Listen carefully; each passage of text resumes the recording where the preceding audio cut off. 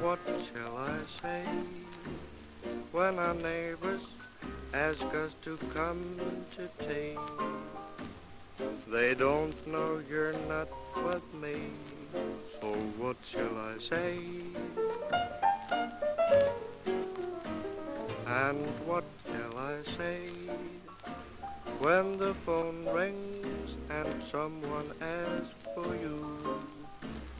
They don't know I ask for you too. What shall I say? How can I hide the tears inside? How can I face the crowd? I can make lips of mine be still, but my heart sighs too loud.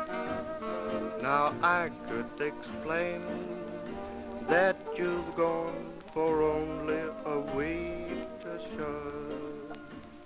But after that week is up, what shall I say?